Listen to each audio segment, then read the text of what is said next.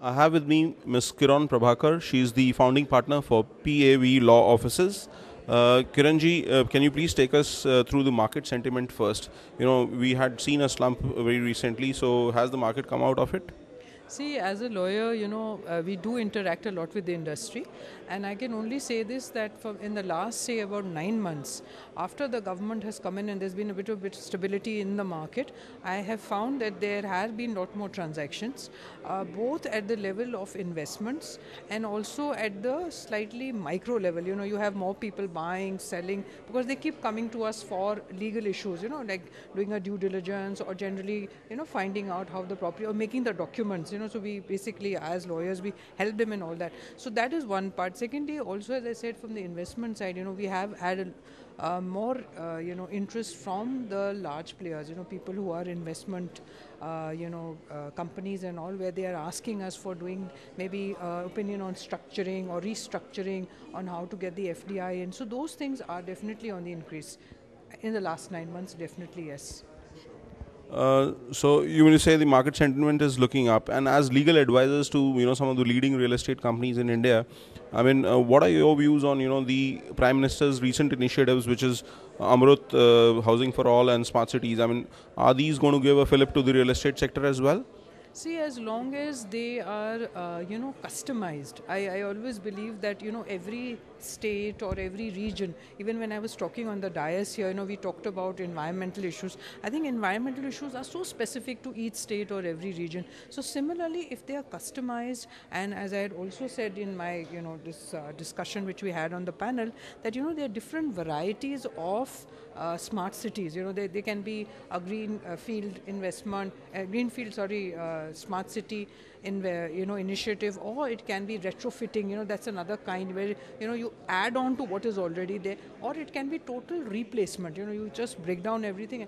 So depending on what is the requirement for a particular area, I think unless smart cities recognize that, because there is no definition of smart cities. If you read what has come out in June 14, which was quite strange, but it's true because it's so wide, so we cannot really box it into one particular category. So therefore, I think uh, it's a great initiative, and I also want to add one more thing, which I just read a uh, couple of days back. There's something called Transit Orient Development, which is also going to be, it's called TOD, which is also going to be part of the Smart City initiative, so that you know you can maximize uh, issues you know related to environment that would reduce emissions because people won't take out their cars. They can just walk down to wherever they are, you know uh, living from to the place of work over you know this uh, you have the metro you have other ways of transport. So this TOD also is going to really help everything which is going towards the smart city. But for smart city as i said each model will have to be dependent on the area where they are you know uh, in what where they're customizing it. That's uh, now coming on to you know the uh, real estate investment trust. I mean, we recently saw Pakistan coming up with it. Uh, you know, they have beaten us to that, and we've been just talking and deliberating over it. Uh, so, what are your views on a real estate investment trust? See, REITs, you know, I tell you, I've been a lawyer now, it's been more than 20 years. I've been hearing REITs since, I think it is 2007. So it sounds very good, uh, let me put it like that. But I think, I still feel the market is a little immature at this moment, the Indian market, and I'll tell you there are fundamental issues which need to be addressed.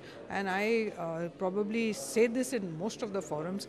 First and foremost, we need to reorganize the title, you know, depository. We don't have what is called a central database of title all over the country. You know, we have, it's very state specific. So what happens is the comfort, you know, suppose I want to go and buy a property in Bangalore, I want to invest there. So unless these fundamental issues are not raised, removed, plus I'll tell you another very important thing which keeps coming up.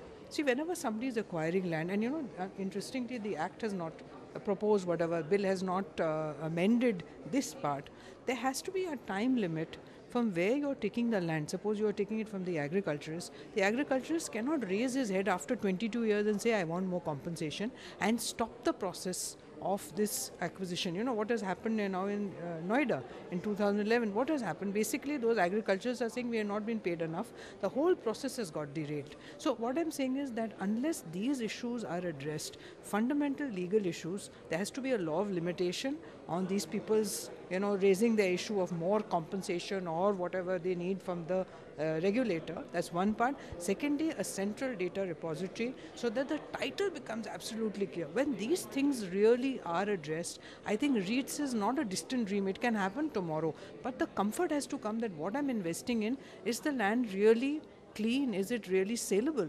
Those issues, I think, still remain in grey area.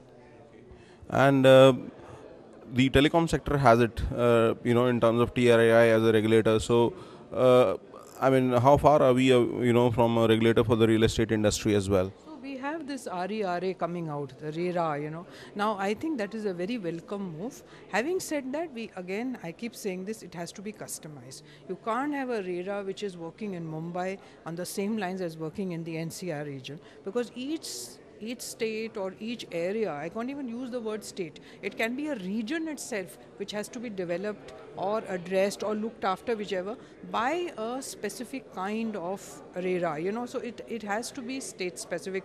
You know, the problem is, I mean, it's not a problem really, it's the way the law is structured that, you know, the land is both under, you know, the uh, central list as well as the state list, and in the middle it falls into the concurrent list. So the land which is supposedly owned, the land banks are owned by the center, but they are uh, regulated by the state because in the middle there is the concurrent list. I think there somewhere there's a dichotomy. There has to be more exchange between the state and center and also somewhere a little unbundling, you know, distribution of powers have to be given to states. Yet on the other hand, the center also has to step in uh, where it is required but not control. I think that's where probably things will start sorting out. Thank you, Kiron. Uh, this is Kiron Prabhakar, uh, founding partner for PAV Law Offices. Uh, this is Dheeraj Ahuja from Expo TV for BolRealty.com.